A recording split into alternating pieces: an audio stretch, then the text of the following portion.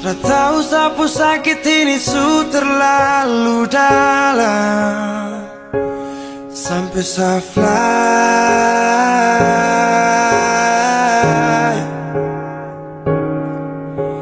Sejaga setengah mati dari pagi sampai